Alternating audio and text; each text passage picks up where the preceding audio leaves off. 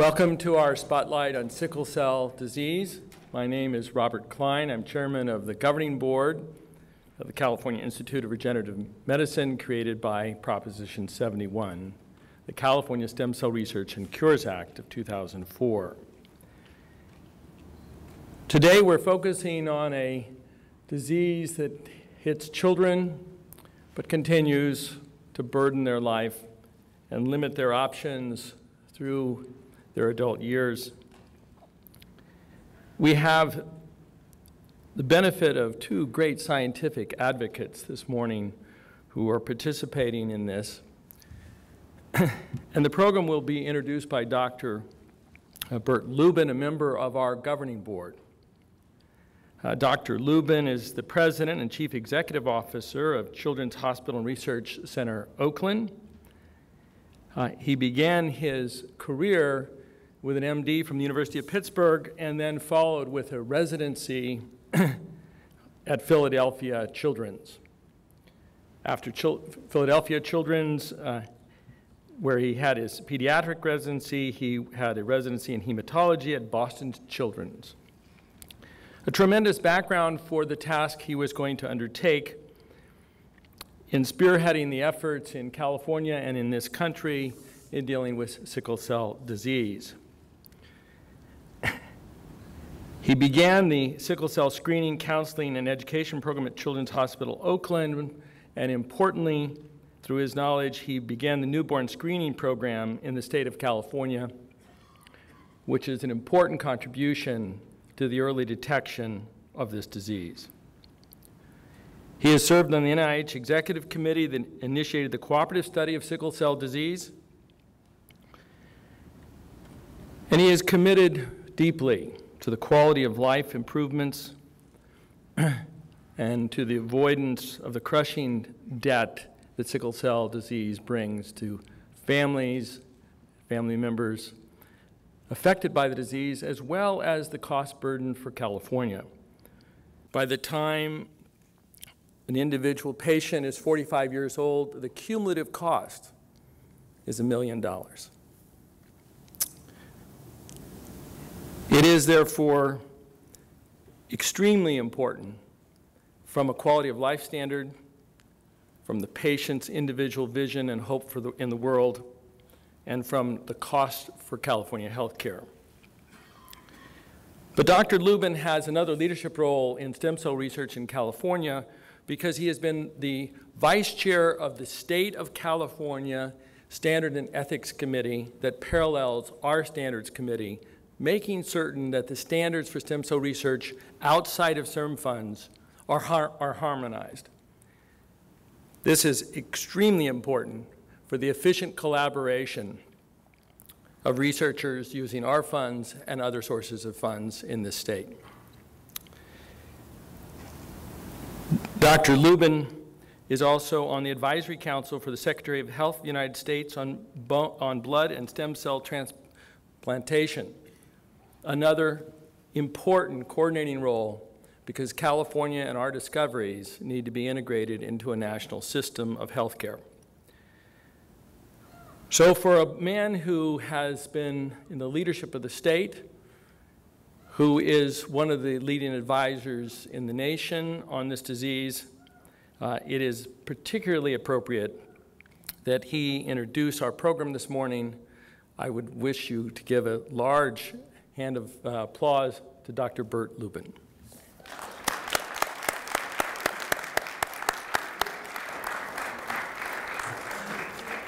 Thank you, Bob. Thank you. Well, that was quite an introduction. I don't think I can follow Don quite as well, but I'm, uh, it's, a, it's an honor to be here. It's an honor to be on this board. Uh, for a long time, I have advocated for work related to sickle cell anemia that CIRM would be involved in not only because I'm passionate about that disease, which I've worked on for 40 years at Children's Hospital and recruited Dr. Elliot Vichinsky, who now runs the program, and helped recruit Dr. Mark Walters, who runs our transplant center, where we've transplanted a number of children who no longer have sickle cell anemia and are cured of their disease. And seeing how that happens and how their lives change makes a dramatic impact. But what I think is really important is that this demonstrates CIRM's commitment to minority health, health disparities, and social justice issues. And I think when you look at the people in the state of California who voted for Proposition 71, uh, there's a substantial number of minorities committed to improving the health of people within their classes. And this program that we have today is an example of a phenomenal uh, a project that actually has the potential for widespread benefits for African Americans in the state of California. As Bob mentioned, uh, we do screen every newborn in the state for sickle cell anemia, and 150 newborns with sickle cell anemia in California are detected every year.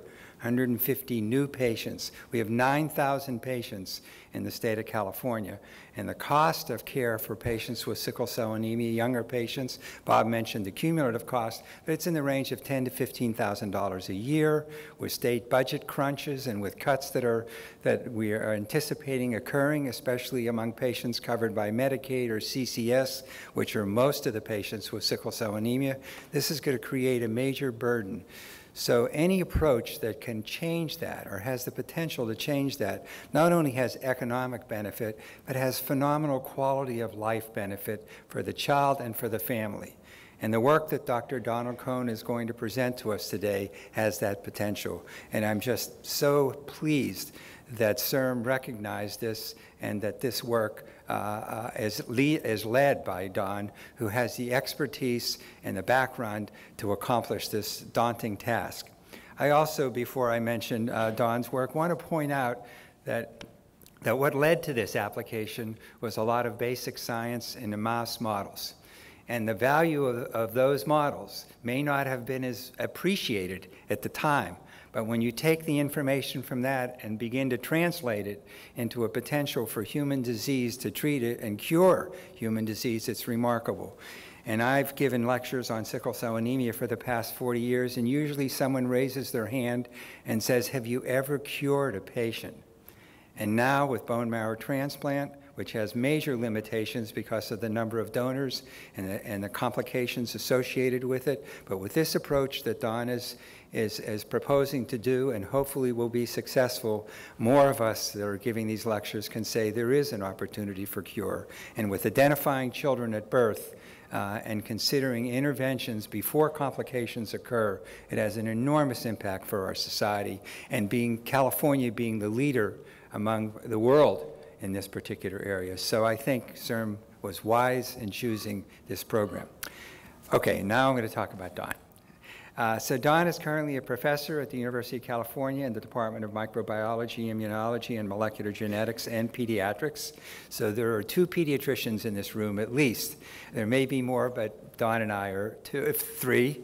Phil, sorry, Phil, uh, three pediatricians in this room, but uh, we're trying to get more and more because all diseases start in childhood, whether you can identify them or not. So if we can intervene in childhood, we won't have them as adults. Uh, he attended the University of Wisconsin, where he received his MD and then performed a pediatric residency at, at University of Wisconsin. And after that, did a postdoctoral fellowship in immunology at the National Cancer Institute. And then he moved to Children's Hospital Los Angeles, which is where I first met him, and the University of Southern California in 1987, and he became a professor in pediatrics and microbiology in 1997. He was an attending physician in pediatric bone marrow transplantation for more than 23 years and was head of the Division of Research Immunology Bone Marrow Transplant at Children's Los Angeles from 2002 to 2008. He relocated his research group to UCLA in 2009, where he is now the director of the UCLA Human Gene Medicine Program and a member of the Broad Stem Cell Research Center and the Johnson Comprehensive Cancer Center. His principal areas of research are in the development and application of methods for gene therapy of primary immunodeficiency using autologous bone marrow stem cells.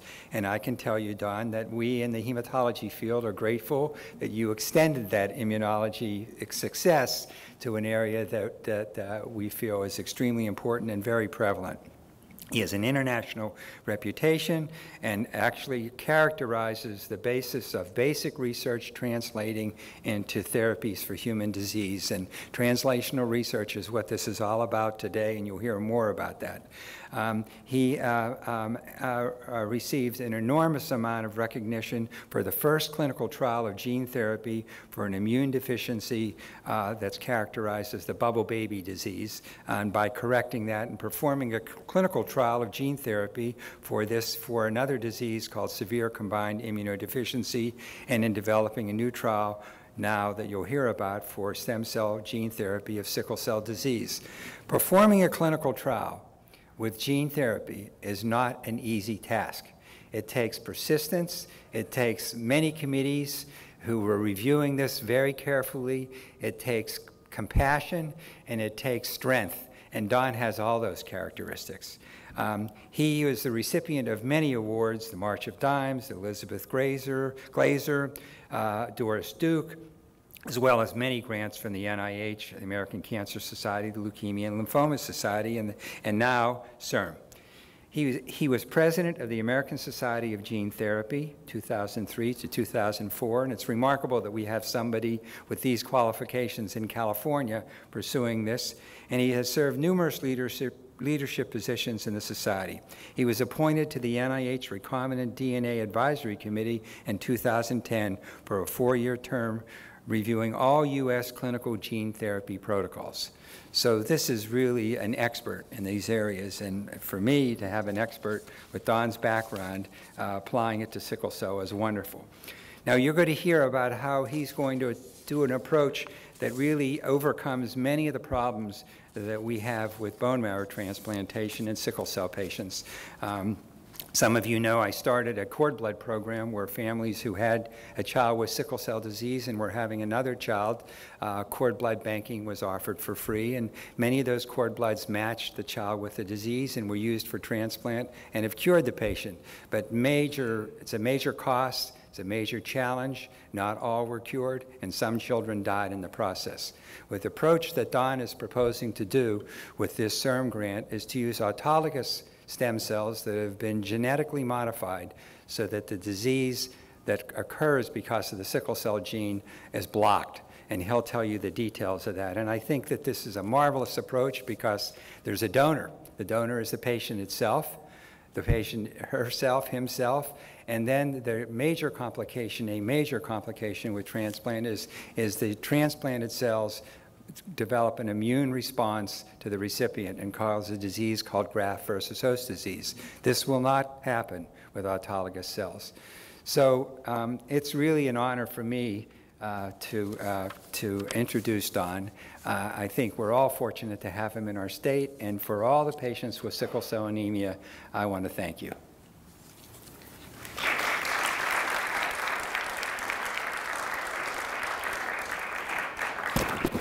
Probably should not say anything after an introduction like that. Uh, that was better than Bob's introduction, I think. So, well, thank you all. Um, so I'm, I'm going to talk for about 20, 25 minutes about uh, our work. And um, let's see the next slide. Here's my.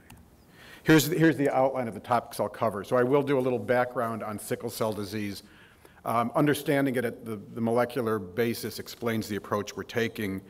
Then a little background on hematopoietic stem cell transplant or bone marrow transplant as sort of the current clinical approach. Um, and then I'll talk about the idea behind gene therapy for sickle cell disease. I'll do all that in 10 minutes. And then I'll tell you about the work we've been doing over the last year on, a, on our disease team project of, of, stem cell gene therapy for sickle cell disease. So just as background, sickle cell disease is an inherited blood disorder due to a mutation in the gene for beta globin protein of hemoglobin, which is the major oxygen-carrying protein in red blood cells. And as, as has been mentioned, sickle cell disease uh, disproportionately affects uh, African Americans and other minorities about 1 in 500 in the U.S. African Americans and about 1 in 36,000 Hispanic Americans suffer from sickle cell disease. So the estimate is that there's more than 80,000 people in the U.S. affected by sickle cell. Uh, and it's a very complicated medical disease coming from a single mutation. Uh, and patients have a lot of problems, including recurrent sickle pain crises, um, a, an entity called acute chest syndrome. Um, then they can have sort of strokes in multiple organs over time. So the spleen early on gets damaged, increasing uh, susceptibility to infections. Kidneys over time get less and less effective. There can be strokes and other problems. So there's very poor progressive quality of life, and in fact, early mortality. And so in the last 20 years, the survival in the U.S. for patients with sickle cell disease has not improved significantly. So average mortality or average survival is only 35 to 50 years. So this very complicated slide has all of sickle cell disease on one slide, so I'll, I'll take you through it. So starting the upper left, um, red blood cells are basically bags packed full of hemoglobin protein. So hemoglobin is a protein made of four chains shown in the different colors. Two are beta and two are alpha. Then each one has a heme component which has iron, and that's why you need to eat your spinach, because the iron in your hemoglobin is what carries oxygen. And so there, there's a gene that codes for the alpha chain and a gene that codes for the beta chain. And it, it, the first human disease that we understood the molecular basis was when Linus Pauling showed that in the beta globin chain, the sixth amino acid, which is normally a glutamine, which has a charge on it, has mutated to become a valine, which is sort of a neutral, non-charged amino acid. And so that one change in one letter in the whole 3 billion genetic code leads to all those clinical problems that I mentioned. And so what, ha what happens is, this is showing, um, this would be three hemoglobin molecules, the two beta and the two alpha chains. So that valine that's, that's substituted in sickle cell winds up being on the surface of the hemoglobin molecule and it can make contact with an adjacent one at a, at a pocket that it likes to stick to. And so under conditions of low oxygen, all the hemoglobin molecules in the red cell actually polymerize and come out of solution. So the red cell goes from being a very flexible, sort of a baggie full of corn oil, to very, very rigid, sort of a corn flake. And these then get stuck in the small blood vessels. And so that's sort of what causes the disease. And the, the key fact underlying the approach we're taking is that the red blood cells that I was talking about come from hematopoietic stem cells in the bone marrow. So our, our union requires we show this slide at all talks. Um, and so when we do a bone marrow transplant, we are basically introducing new hematopoietic stem cells from the donor that will make all the blood cells for the patient, including now normal red blood cells. Uh, just one more comment from this slide. There's a protein on the surface of these early cells in the bone marrow called CD34. And there are now actually clinically available devices that will pull out the CD34 cells from whole bone marrow. So in our cell processing, we actually take a patient's bone marrow, pass it through this column, and just collect sort of this, this early fraction of cells. And that's what we use as our gene target. So background on hematopoietic stem cell transplant. So it, hematopoietic stem cell transplant is also the clinical practice known as bone marrow transplant. And this is most, and, and we can get hematopoietic stem cells either from the bone marrow, we can chase them into the blood with growth factors, or we can get them from umbilical cord blood that Bert referred to.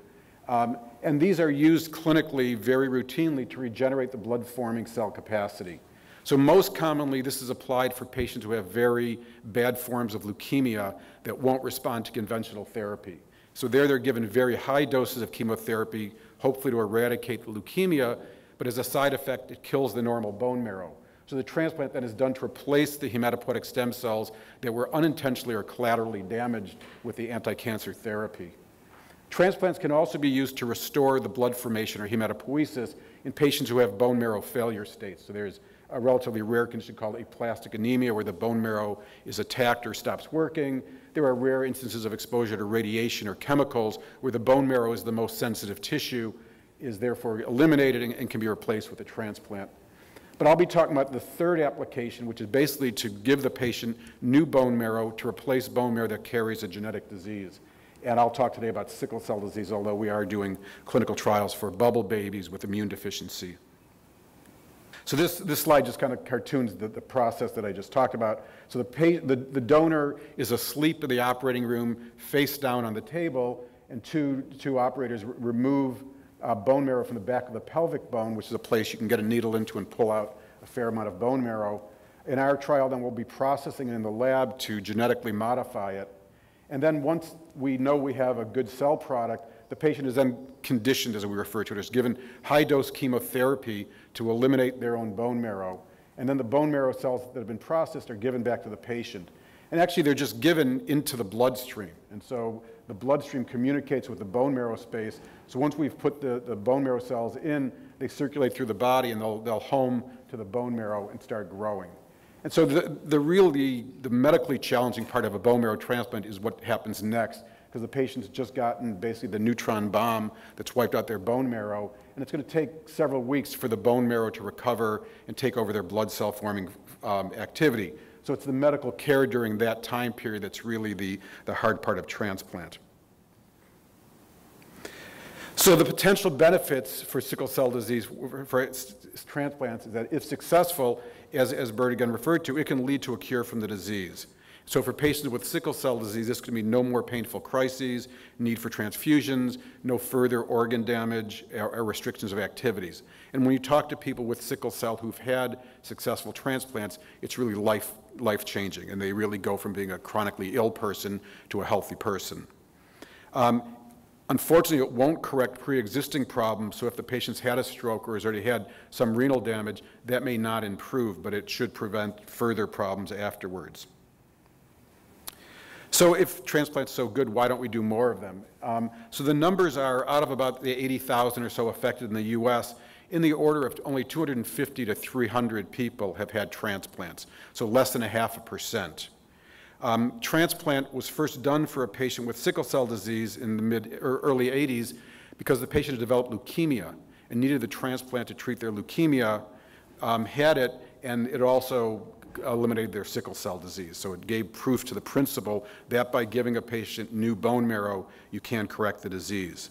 And so of the 250 to 300 that have been done in the US, and probably about that number worldwide, about 90% of them have been successful if there's a matched brother or sister who can be the donor. And so the transplants have mainly been done for children with sickle cell with a matched donor. Uh, we know that adults in general have higher risks of side effects from transplants. Someone with sickle cell as an adult is more likely to have medical problems that have accumulated than a child. The problem is most people don't have a matched sibling donor. So if you go by typing, there's a 25% chance that any two children with the same parents will match. And so most people don't have a match. And so the, a major goal of the whole field of transplant for many decades now has been to find ways to transplant people that don't have a matched sibling donor. And the two major ways um, that have been done are to use unrelated donors. And this can either be adults who are identified through the National Marrow Donor Program that has more than, I think, more than 15 million people typed, and we can look in the computer banks for if there's a, type donor who matches a patient. Or there are many now uh, cord blood uh, banks that have stored away thousands of units of cord blood that we know they're typing, and we can sometimes find a unit of cord blood that matches the patient. In general, these transplants can be successful, but the risks are higher even though they match, they may match for the major tissue type antigens we look for, they're likely to be less well matched than a brother or sister. So the immune complications are higher when we use unrelated donors. And the main reason is, again, Bert referred to this, is that donor T cells within the marrow, so when we pull the marrow out, some of their blood comes along with T cells in it, that can react against the patient. And that's the entity we call graft versus host disease. So the grafted cells are attacking the body they're in, sort of like the flip side of an immune system rejecting an organ. Now the organ, in a sense, is rejecting the, the body that it's in. And so hematopoietic stem cell transplant can cure sickle cell disease by, by providing the stem cells from a donor with a normal beta globin gene, but lack of donor availability, some people don't have a match even with the National Marrow Program and the cord blood banks, and these immune complications of rejection, which happens in about 5% of the transplants where they, uh, especially in sickle patients where they've been transfused a lot, they're sensitized, they reject the graft and their sickle cell disease comes back, or the flip side graft versus host disease, those are major reasons why they're not done more. And so because of these risks, it's mostly done for patients who have more severe complications or risk factors. So we're kind of taking maybe the sicker patients, and it- it's a very uh, difficult decision. So considering a transplant for a patient with sickle cell disease is a very complex decision involving medical, ethical, fam- family, personal decisions. And it's, you know, there is no formula. It's really a, a one by one. You have to think about these risks, the benefits, and some people want to take the risk and some people it scares them. So that's the background to what we can currently do medically um, today. So the idea then going forward is to try and improve upon bone marrow transplant from someone else. And so the, the key concept of gene therapy using stem cells is that by correcting the gene in the patient's own stem cells, no immune reactions will occur after the transplant, and there'll be better outcomes with fewer complications. So that's the hypothesis that will be tested over the next decade or so as, as these trials are done. And so the simple task is to fix the gene in the stem cells. If we fix the gene in any cell later, these cells are transient and only last for weeks to months, so the effect will be lost. But because hematopoietic stem cells last a lifetime, if we can take them out of the patient, fix them with the gene, and I'll talk about how, and give them back and have them engraft and grow permanently, then the patient should have their own source of normal red blood cells for the rest of their life. So that's, that's, that's the vision. So gene therapy is a new technique that's been developed over the last 20, 25 years, and a, a large focus of it has been to treat genetic diseases by adding a good copy of the missing or broken gene to the body cells of the patient. If the new gene works, it would correct the genetic problem in these cells. And so for blood cell diseases, fixing the gene of the patient's own bone marrow hematopoietic stem cells, which are then transplanted back to cure the problem. And specifically for sickle cell gene therapy, the goal is to add a normal beta globin gene, I'll show you actually uh, a supranormal, to the bone marrow stem cells to allow normal red blood cells to be made. And so this kind of just cartoons the, the, the clinical process of collecting a patient's own bone marrow in the laboratory, adding a gene that will correct the genetic defect, giving some chemotherapy or cytoreduction, reducing the amount of bone marrow the patient has with chemotherapy, then giving the cells back to the patient. And so this attempt, or this, this approach has been attempted over the last 20 years or so, mainly for patients with immune deficiencies. And in the 1990s, it didn't work at all. Now, in the last decade, it is working. And so in recent years, gene therapy has cured several patients with uh, immune deficiencies, including some in our, in our trial here. Um, and other rare blood cell diseases like Lorenzo's oil disease, there was a, a successful trial for in France, by gene correction and transplanting their own bone marrow. Um, and I'll, as I'll show you, techniques have been developed to transfer human beta globin gene to stem cells to treat sickle cell disease. And in fact, clinical trials of gene therapy for sickle cell disease are being developed at several institutions in the US and Europe, although I, I believe our trial is the only one developing in California. So this is the most detailed slide to go into. So this is a little background on, on hemoglobin. So the, it turns out that the gene that makes beta globin, where the sickle mutation is, is part of a whole complex of genes uh, located on chromosome 11 that's called a beta globin gene cluster. And there are different forms of this gene. There's epsilon that's expressed only in the embryo, and it's better for carrying oxygen at the very low levels of oxygen an embryo will see. And then as the fetus develops, it switches from using the embryonic beta-like gene to using the uh, gamma or, or fetal type globin, which makes a good hemoglobin for carrying oxygen when you're a fetus.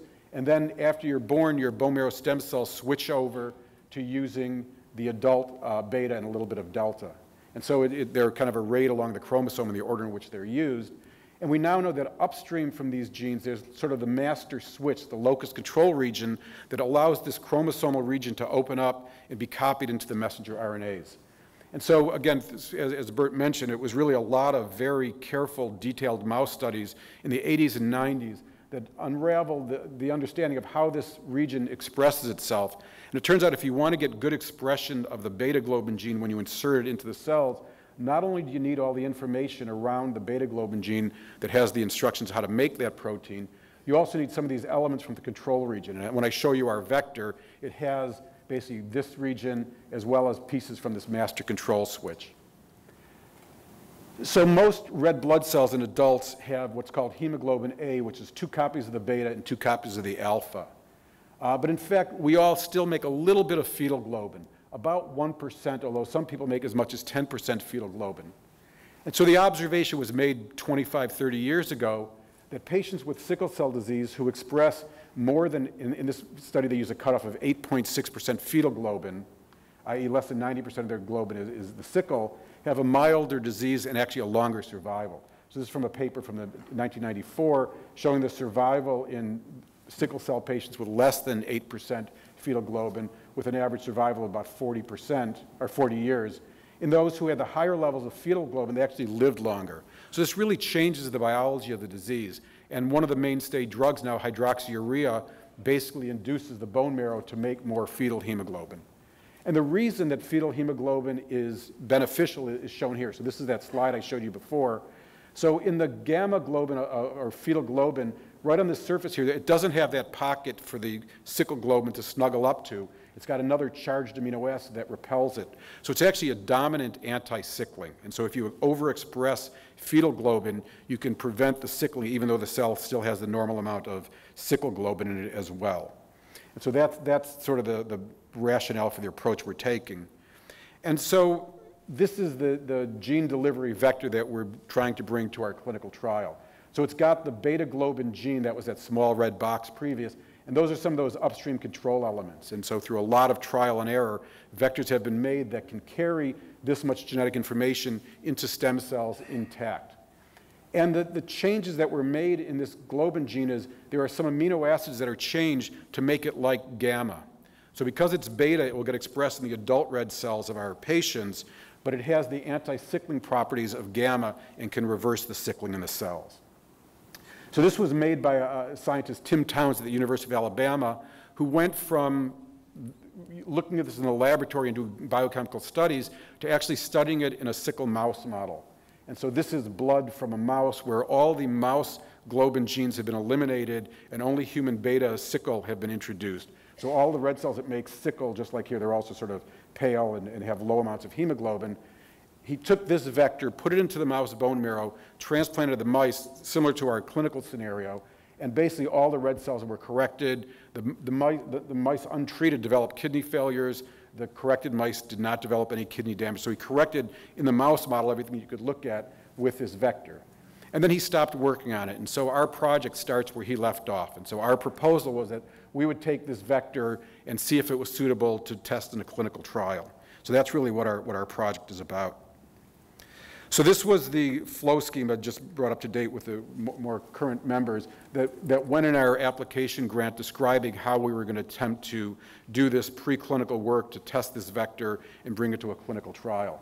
And so there's two, three major components, I guess. There's the human subjects component, uh, there's the laboratory part, and then there's the administrative core. And so the way this was set up was that the human subjects eh, are, include uh, investigators at UCLA, Children's Hospital Los Angeles, and Children's Hospital of Oakland, which are probably the three centers in the, in the, in the state that see the most patients with sickle cell disease. And so clinicians from those sites are involved in informing us on how to design the clinical trial. And then they are also now actively enlisting volunteer patients with sickle cell disease to give us bone marrow samples for our research studies. So, the, so, this, so they're enrolling um, patients to come in and voluntarily give a small sample of bone marrow which then comes over to the laboratory component where we're using them as the material to test the gene correction strategy. Um, and then uh, this group will also help with the, the, study design in terms of here's how to do the cell processing, here's how to measure the endpoints.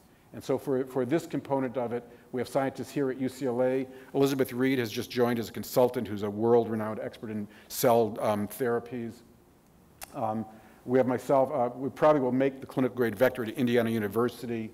Uh, then the team of people who are sitting in the back row there who actually do all this work that I'll show you.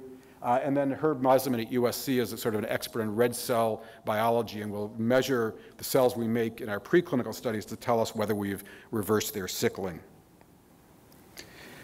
So these were our major uh, milestones in the grant application. So in year one, we would perform efficacy studies of the vector in bone marrow CD34 cells from sickle cell donors to determine whether sufficient beta globin would be made um, to reverse the anti-sickling effects. so I'll show you some of our, our studies from the first year. Um, then the plan is going forward to perform the studies that will enable us to apply for an IND and then to also qualify the assays that we would use in this, in the trial to make sure that they're, they're robust in, in terms of the measurements. Then in parallel, uh, aim three here is to develop a clinical protocol and all the associated documents for the regulatory applications. There's about anywhere from eight to 10 different committees that need to go through this, and each one will have a different opinion on how you should do your trial. And so you basically start off, you make a draft document, you send it through the system, and it gets improved as it goes along. Uh, Then, once we've a- accomplished this, the goal would be in the last year then to apply for all these regulatory approvals. So this was our, our timeline for the study. Uh, We just completed uh, year one recently, so I'll tell you about our, our progress in the last year. The goal at the end of this year period now, which we're about to do, would be to request with the FDA a pre-IND meeting to get their advice on how we should structure different parts of the trial. And then the goal is by the end of the fourth year, or sooner, we hope, to be ready to open the clinical trial. So these were our goals for the first year, uh, to develop a clinical network that I, I talked about with the children's hospitals and, and here at UCLA, to obtain bone marrow samples from patients with sickle cell disease for the preclinical research studies we're doing in the laboratory. Uh, we manufactured a small gr- research-grade prep of the vector that carries this gene. Then we've done a lot of work to try and optimize transferring this beta globin gene into human bone marrow stem cells, uh, to measure the level of globin that we make. Um, and we've developed a system I'll tell you about to take bone marrow stem cells and in tissue culture within three weeks, turn them into populations of pure red blood cells. So sort of do that process in the test tube and measure the, the production. Uh, then we're working with Dr. Mosleman over at USC to look at the functional properties of these corrected cells, and then at the same time, in parallel, we're developing the clinical trial and the protocol.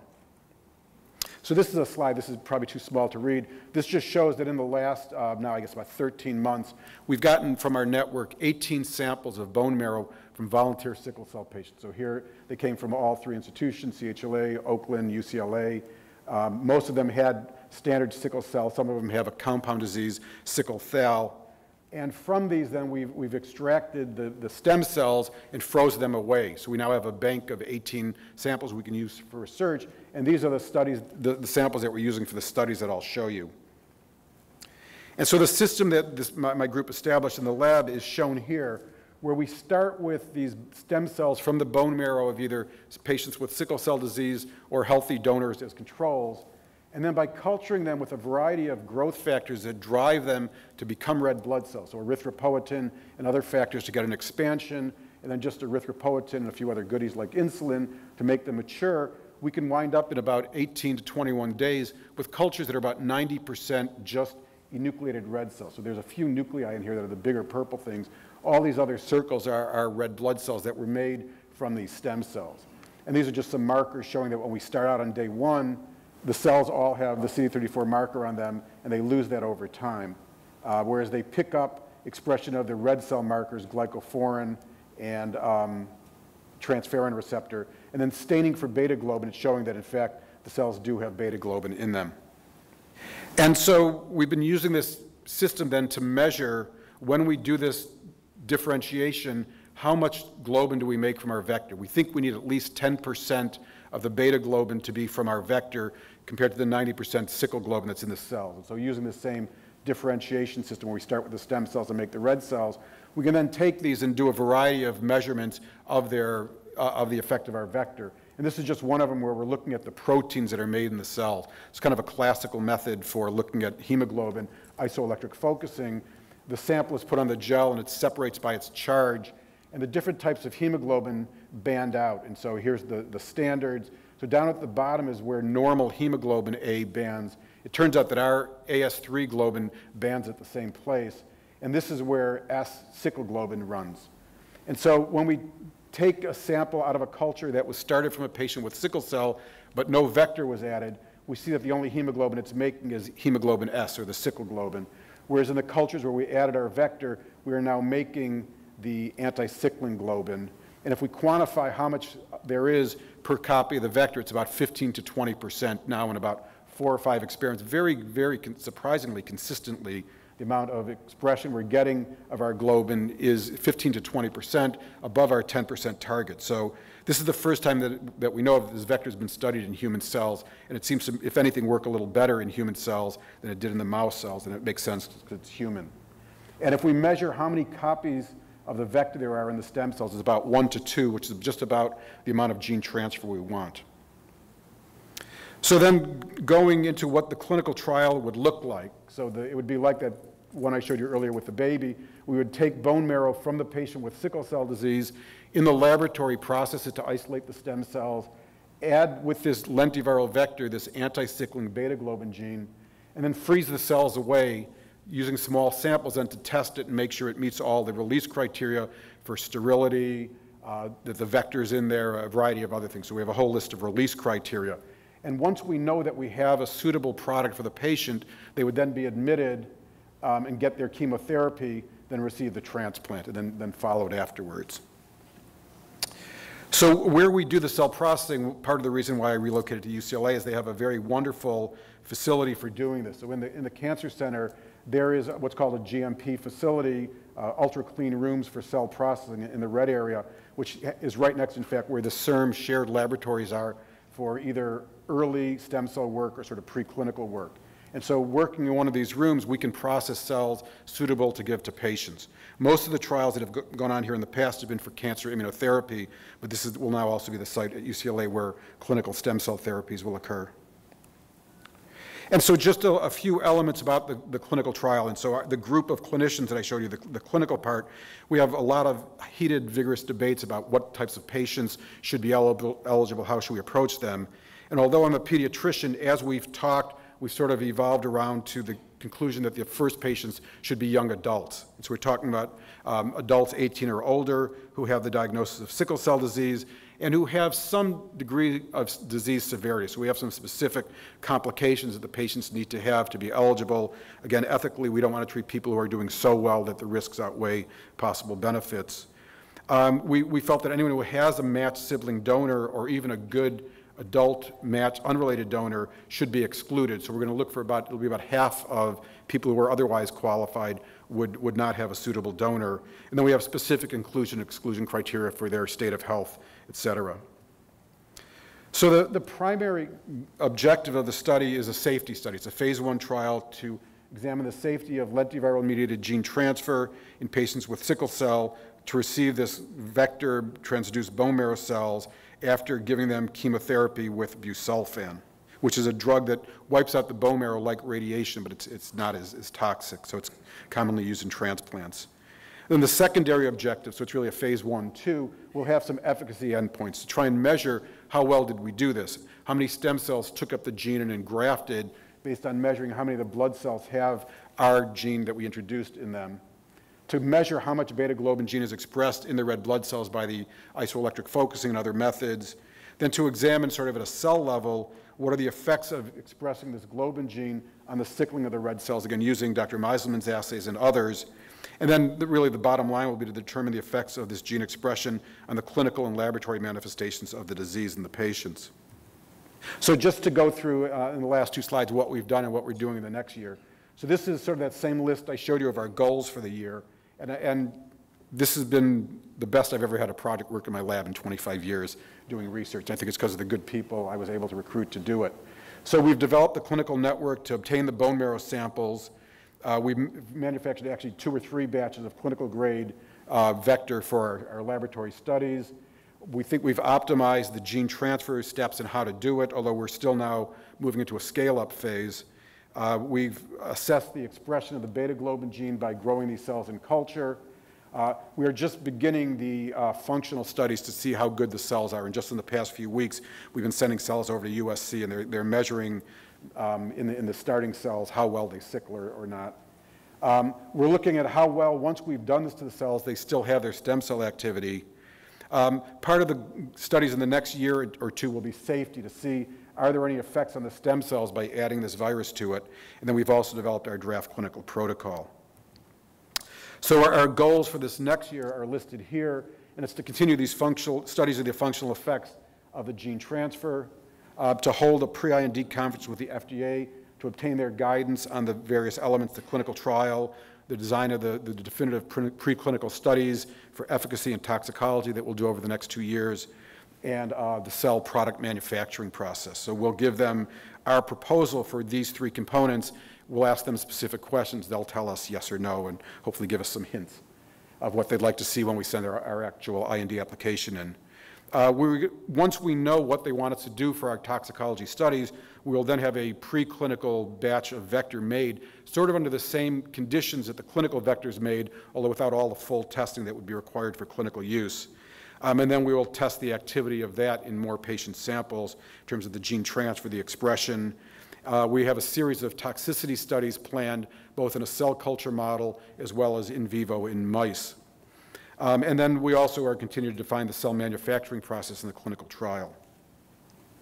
So I'll stop there just to acknowledge all the people who've given me support uh, in doing this work. Uh, the Broad Stem Cell Center, led by Owen Whitty, is a great place to work. I'm very happy being here. And, so Owen, uh, Dr. Gasson from the Cancer Center, the deans of the School of Medicine and School of Life Sciences, uh, my chairs in, in micro and in genetics have all been very supportive in bringing our group over here and, and getting us going.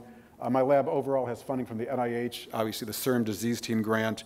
Uh, we have a, a, grant from the Doris Duke Foundation to try and work on sickle cell gene correction directly. That's probably version 2.0 for the future, and a little support from the Diabetes Foundation uh, for a project we're associated with with UCSD. Uh, this is my group that actually does all the work, and uh, again, the, the, the, team that's been doing this is in the back seat, and they're, I think, the ones who really deserve the applause for the amount of work they've done in one year. So I'll stop there. Thank you.